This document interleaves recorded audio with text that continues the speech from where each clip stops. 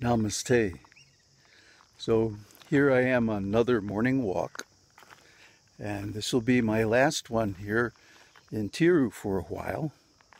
Let's take a look at that hill.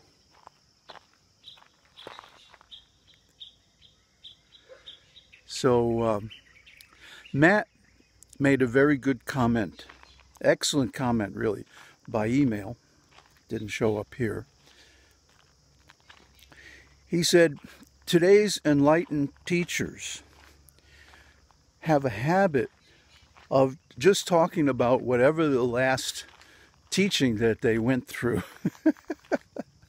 Maybe he's talking about me, I don't know. I certainly have done it uh, and still do. And he says, as a result, their teachings are not context insensitive enough to help the broad majority of people.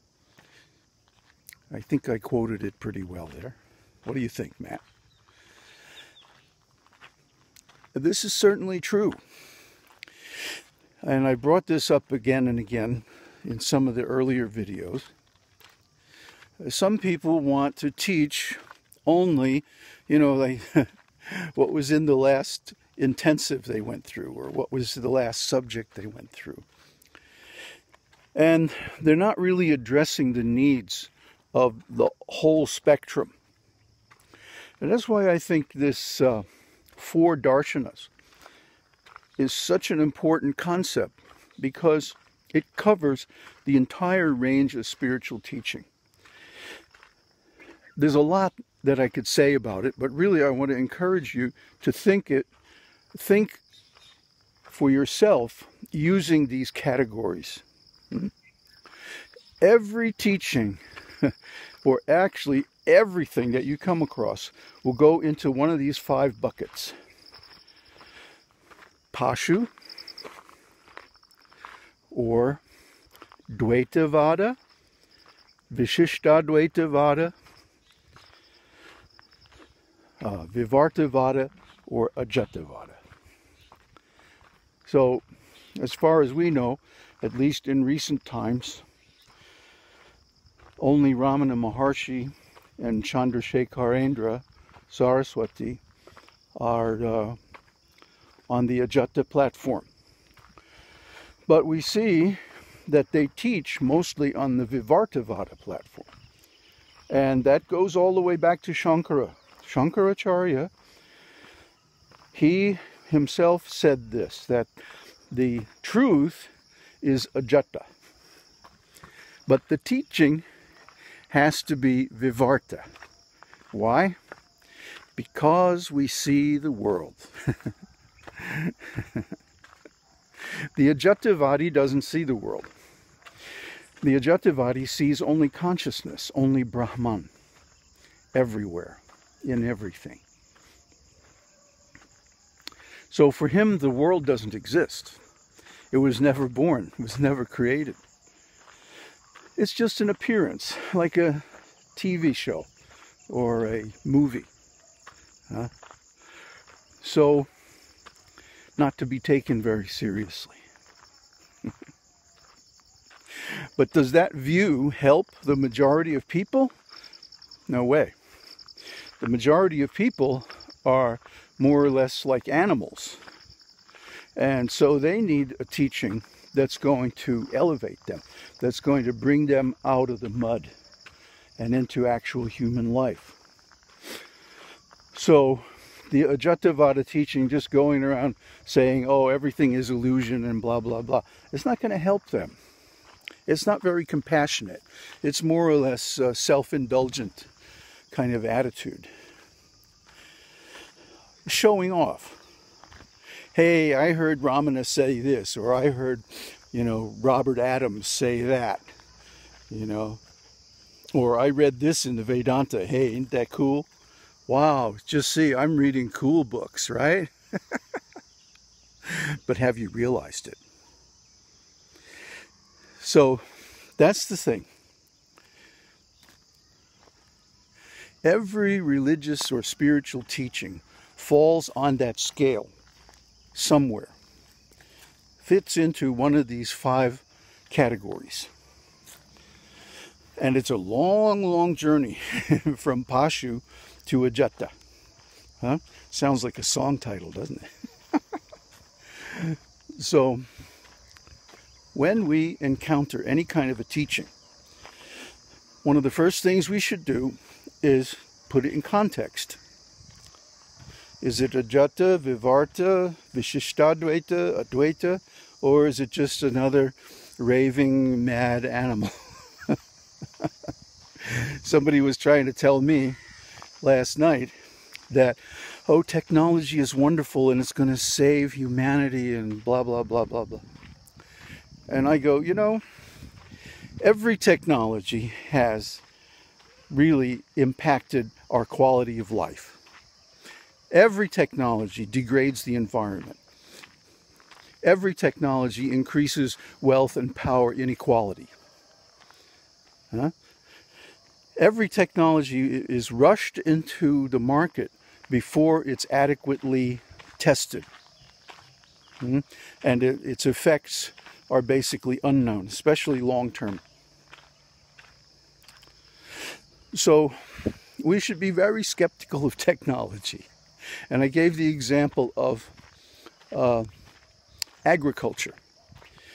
In the old days, the world was open and one could wander wherever he liked. Huh? Nowadays, look at this fences, gates. These are fence posts marking property lines. More gates and walls. Huh? I can't go anywhere I like. I'm not free. Huh? My freedom is very much restricted. There's some beautiful observations on this from Native Americans who roamed freely all over the plains for thousands of years, and then white man comes, starts putting up fences and railroads and power lines. And huh? So this is Pashu, Pashuvadi, the teachings of the animals. Oh yeah, let's make a new technology. We're gonna it's gonna make us wealthy, powerful, famous, etc and then we'll get all the sense gratification that we want. That's animal thinking. As soon as the idea of God comes into the picture, then, oh, I guess we're going to have to do something to serve God. And that's the beginning of real human life. You know, who, who was it? Uh, Bob Dylan wrote a great song when he was in his Christian phase, fad, called You Gotta Serve Someone. And, you know, even though it's in that context, it's true. So, what is that context? Dvaita, duality. There's me and there's God. And never the twain shall merge. So uh, in the beginning, that's the way it looks. And then somewhere along the line, you hear, oh yeah, there's this teaching called Advaita. And Advaita says that I and God are one. But I can't understand that. Huh? But maybe if I do uh, more service, maybe if I develop love for God, God will reveal it to me. And that's Dvaita Dvaita, Bhakti. So you're still in the framework of duality, but there's a, a hope in the future that duality will go away. Uh, and then, by amassing a great deal of merit, punya, huh? good karma, whatever you want to call it, the next stage is revealed when you come in contact with a realized soul, an actually enlightened being like Ramana. And uh, on that platform, you see, oh, there is a sadhana, there is a path, there's a way, there's a truth. And I can reach it by doing this or that process. Well, really, there's only two bhakti and jnana. And bhakti and jnana are actually one. At least their aim is one. But the two processes look very different on the outside. Now that's all right. Bhakti is sometimes called Jnana Mata, the mother of Jnana. So Jnana, self-realization, has to be based on a platform of Bhakti. Otherwise, it, it just doesn't happen. And this is why most people fail. They're unaware of this context and they think that jnana is a separate teaching from bhakti or uh, ordinary religion. But actually, they're part of one vast context reaching all the way from animal life or animalistic human life to actual self-realization. And we shouldn't think of these teachings as separate or different, because they are part of one context. And no, now you have the context, okay? you have the chart, you have the, the map, and you can follow it as you go on your path to reach the higher and higher stages. But as far as practically speaking, you can only see the next step. Uh, you can't see what's beyond that, that next hill, okay? You have to go there. You have to do the journey yourself. Otherwise, it seems unreal. You know, for Ramana to say that the self is everything, and I am that self, you know, which is for him a simple, direct observation.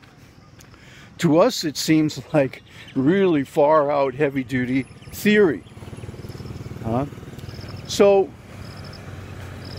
we have to have, there's a little bit of faith involved, a little bit of trust, really, that, oh, my teacher is not trying to cheat me.